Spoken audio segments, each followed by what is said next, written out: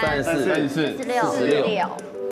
好，最接近而不超过的就是我们今天第一名，好不好？有人非常接近，接近，请问谁答对了？几乎。马国斌，哇，太就是一滴滴你就 bingo 了，真的对，有小数点吗？没有没有，百分之三十五，哇根据全球调查指出，全球肥胖榜第一名，全球肥胖的榜是。排行榜第一名，美国，美国。这没什么好争议的。对。他们的食物，百分之六他们的，人种，全部过胖，百分之六十过胖。对。台湾有台湾台湾是67名。全球第六十七名，哦。还不错。所以等下马马国碧，你获胜你优先选位，你要选哪个？我觉得我这边风水还不错哎。那你就在那边，你要站这边是不是？啊，你在那边决定可以随便你选啊，这是第一顺位想换吗？你想换吗？换一下好了，换一下 OK 啊好了 OK 啊我这样可以离那个财然后接下来呢，爆掉的两个都爆掉，但是呢，王思佳比较接近，比较接近王思佳对来，你要选哪边？我马国碧先换，那我就站在第二个上换第一个。好了马国斌先站第一个，那我就不换了，我就站在这里。你就在这边。那赵云你要换哪里？还没得选啊，最后一题随便选。赵云现在只能选择轿车或蹲下来。好了，就这样子了。马上进我们的第一个单元是轰炸十点半。来宾比赛扑克牌十点半游戏，由主持人发问，答对者可以决定下一张牌是发给自己还是发给对手。只要对手的牌都爆炸就获胜。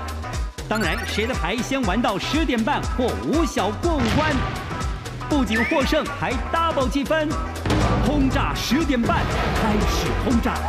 先给积分，每个底牌，嗯，先发。马国碧的底牌是几点？三三点，王思佳的底牌是五点，五点，哎呦，真大哎，是半点，半点，有机会，非常好。半点。过五关比较容易啊。但是也因为前面答对的话，都点数全部往那边丢，你一下就漏掉对啊漏掉了，啊对？不对？第一题题目是？好，我们这个生活智慧题。哈，生活智慧。注意听哦。好，请问，好，在炸油锅的时候放下何种食物可以防止油喷溅上来？食物哦，食物当然了，我们先把水吸干很重要。所以有时候你要一直不断的做下锅的动作的话，对它会溅上来，有水分油锅对，嗯有水就会溅，油爆现象应该怎么办？放什么食物？第一个，在油锅里放置一把米，因为米会吸附油中的水因子，所以炸东西的时候油就不会溅起来啦。一把一小把的米。是第二个放什么？在油锅里面放一片吐司，因为吐司会吸附油中的水因子，所以油就不会溅起来啦。放第三个是什么呢？在油锅里面放一根香蕉，哎呦，因为香蕉会吸附油里面的油中的水因子。对，最后一个可以放什么呢？在油锅里面放几片凤梨，因为凤梨当中的酵素呢，会让滚油的沸点降低，所以我们炸东西的时候油就不会溅起来啦。照答案顺序，从马国碧先来，你认为放什么食物？我觉得是 B 吐司，为什么吐司？为什么？因为那个你说香蕉和凤梨，它其实里面就就带含有水分，水分你下去油锅，它一定会一定会喷的爆的更厉害对吗？那米放米好像会变成蹦逼汤吧？那我觉得吐司好像是最比较符合，可以就是放放入油锅炸吐司。炸就炸吐司，然后它就吐司不会变黑吗？会变黑啊，吐司变黑啊，那是跟我们炸的东西。但吐司没有人要吃啊，对不对？对啊，是不是吐司？请公布。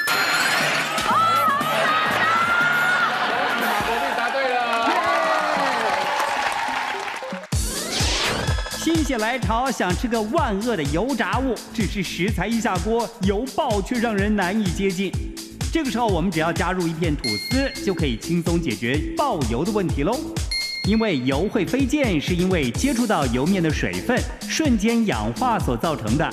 加入吐司之后，吐司会吸附油中的水因子，所以炸东西油自然不会溅起来喽。想来一盘香酥的油炸零嘴吗？试试防油爆的新妙方吧。好，这个点数是你的，请看，三点，给谁？哇，当然是不可能给自己的、啊，这样就六六分了嘛，对不对？哦我们一定是要给脱外套那位漂亮的姑娘。因为你要激励它啊打滚，对对对，对，让她升希级。望能够不然就让她早点爆，然后早点把外套脱掉，对对对哪哪里早点爆？他的分点数分数好一点。对，赵云。三点就给你了，三点半。这三点给赵云。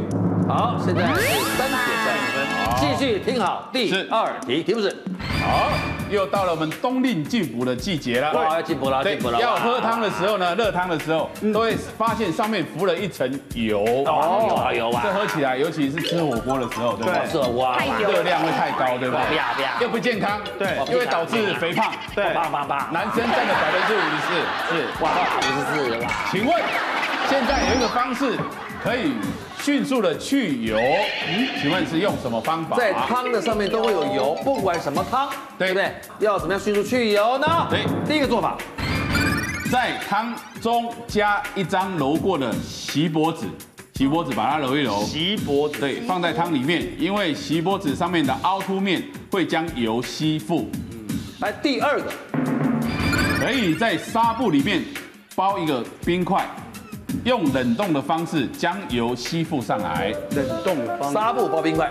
第三个做法，在汤中间加入几滴的优酪乳，因为优酪乳会凝结油脂，进而更好捞起浮油。比较好捞。是最后一个做法，在汤当中加入几滴可乐，因为碳酸遇热会更沸腾，可以把油集中，进而捞起来。马国碧，请选择。好难哦，这题我觉得这题有点。我觉得是 A 加锡箔纸，然后揉成一团丢到汤中，然后再捞起来。锡箔纸答对了吗？不